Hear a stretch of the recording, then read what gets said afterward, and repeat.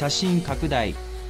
阪神福留孝介外野手41が20日沖縄宜野座キャンプで行われた守備なしのシート打撃で藤川球児38ラファエル・ドリス31秒投手から安打性の打球を放ち上々の仕上がりドリスの内角高めの直球を狙いすましたかのように右前へ運び藤川からも右前へ放つなど6スイングで2本の安打性の打球をマーク。